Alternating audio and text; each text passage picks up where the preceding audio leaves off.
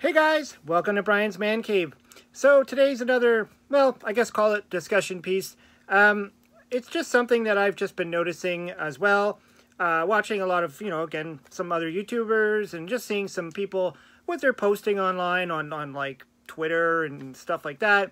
And that is the ongoing hunt of like trying to find retro games. Now, well, you could say video games, you could say retro games, either one. I know there's a lot of people that are are really into some of the more modern stuff, and you know, as as the generations change, some of the stuff that you know I still consider new is now old, and uh, you know, people are still looking for that stuff too.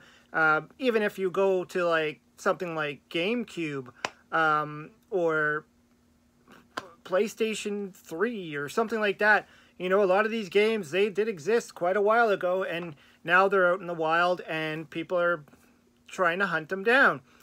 Um, but I'm thinking, like, you know, obviously for me, I'm, I'm a little bit more of an older uh, style of uh, game player.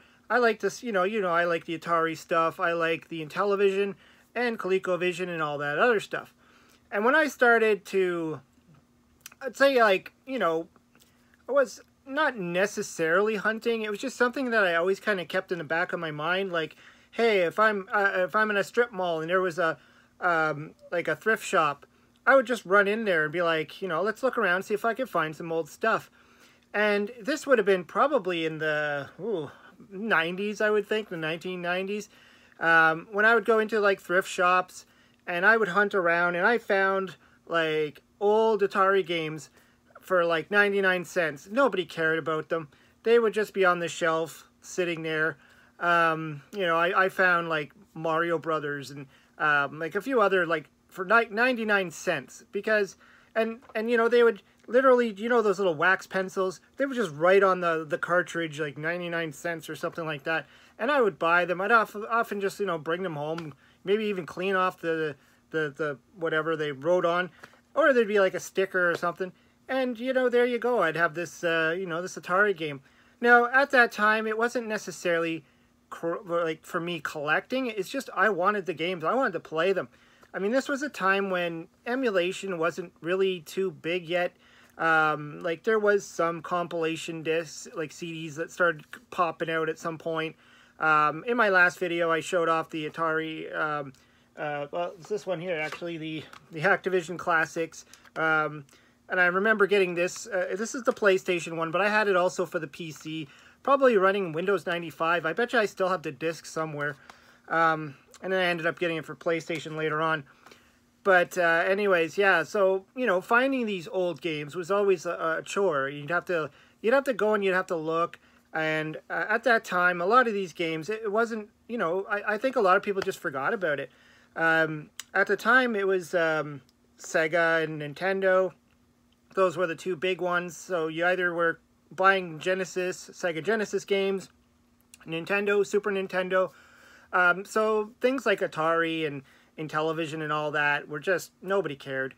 Um, and, and I would always find them. And not just them, but all old computers too. I mean, Commodore 64 stuff. I, I'd find, you know, like games, like people would just leave discs and, and um, joysticks for it and, uh, you know, even the computer, I, I ended up picking up a uh, VIC-20 at uh, at a thrift shop, and it was just just sitting there on the on the, the shelf, and I'd be like, oh, cool, VIC-20, always wanted one of these.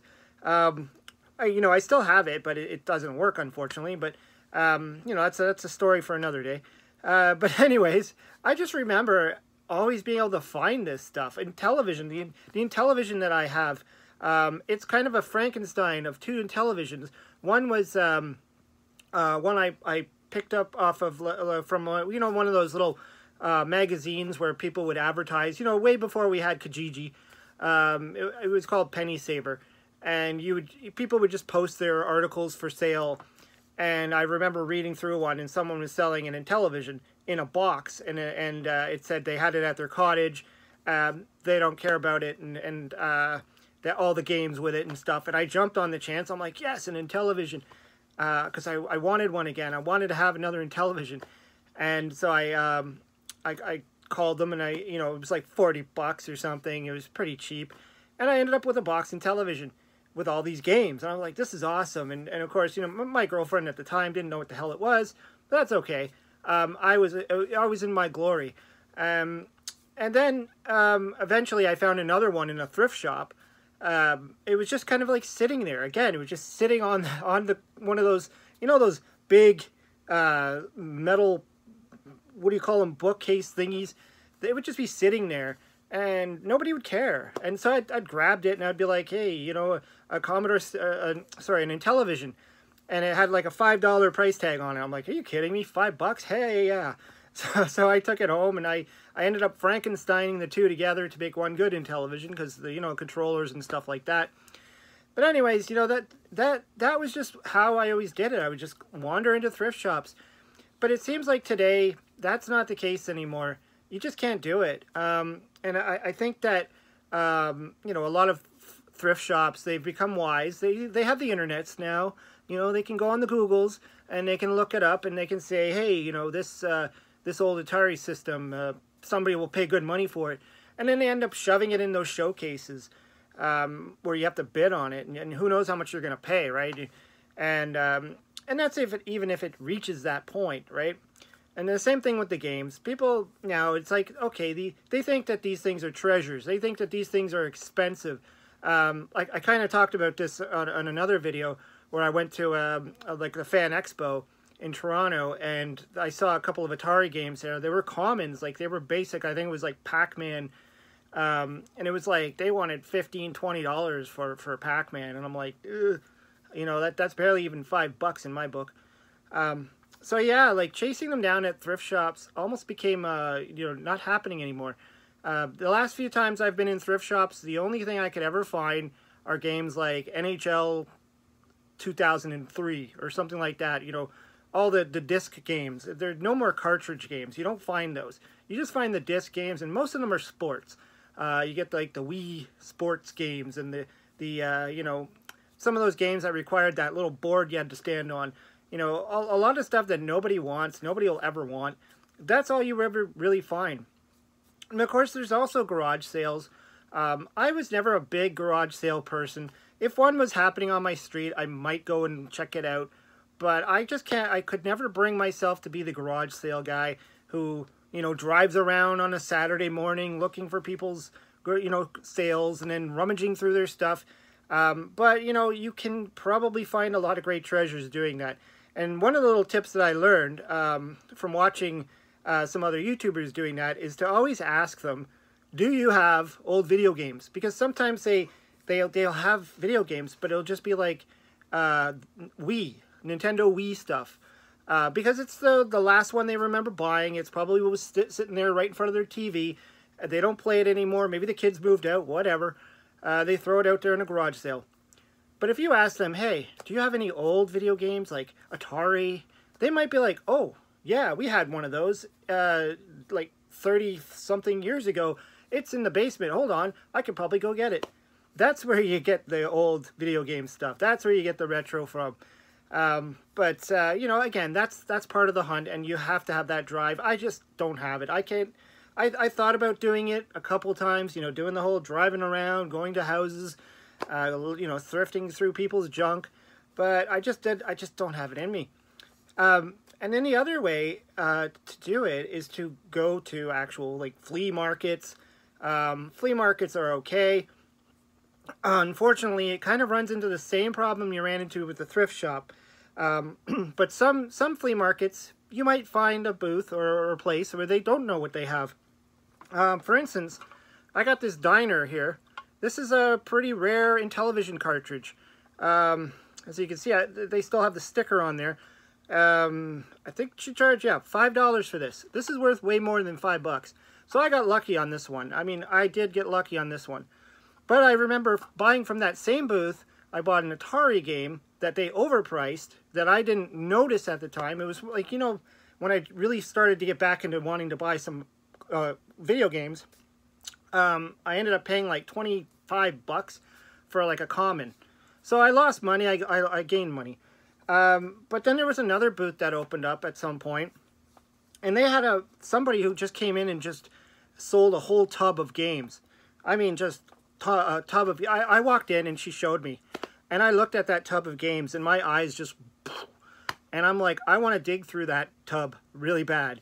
And she's like, have at it. And so, and, and I knew she was one of those people that didn't really price things to, you know, overprice. She was always fair with her pricing and, and oftentimes she underpriced everything. So I dug through there and I found games like Mr. Do's Castle, uh, which at the time I didn't even know what it was, but I didn't recognize it, so I grabbed it. Um, Frogger 2, you know, these are some rare cartridges, right? Um, Miner 2049er Part 2. Um, all these, like, Atari cartridges, I've never seen them, and I'm just like, I'll take it, I'll take it, I'll take it. And I think she ended up charging me, like, three bucks per cartridge. Um, and I was like, okay, whatever. I, I, had, like, a big stack of cartridges. I paid, a, you know, maybe 25, 30 bucks. I can't remember. This is going back a, few years.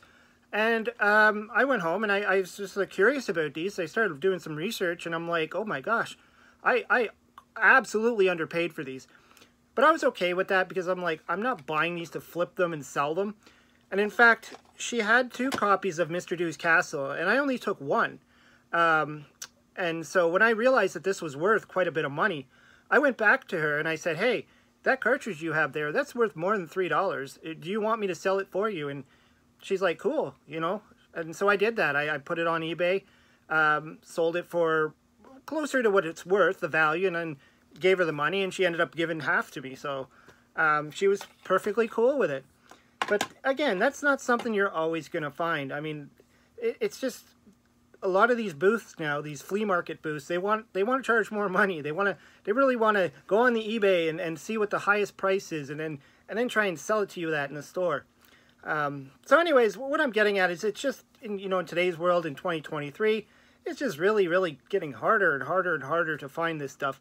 And as I said in a previous video, and in fact I think I, I it was uh, the immortal John Hancock that said it, a lot of this stuff is starting to disappear uh, which is a shame. I mean, it's, it's either disappearing by ending up in people's collections like mine, or just who knows where vanishing, and uh, that's it. That's the end of the line. Anyways, yeah, I just wanted to share that with you and throw some uh, topics out there uh, just to get a discussion going. Always like to hear what you have to say. Throw some comments down below. Hope you subscribe, and we'll talk to you later.